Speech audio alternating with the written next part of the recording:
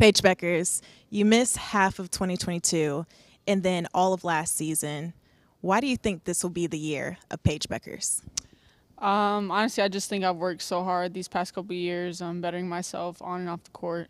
Um, just putting a, a lot of effort into changing how I eat, how I sleep, how I take care of my body, um, and a lot of things that people don't see on the on the court. So I think it's about time. So I, I'm feeling confident. Yeah.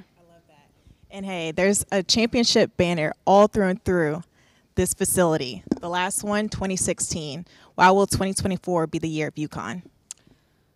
Just like I said, I think we've been through so much. Um, I think that we work extremely hard and we have each other's back, and we've gone through a lot. Um, and I think it's only made us stronger.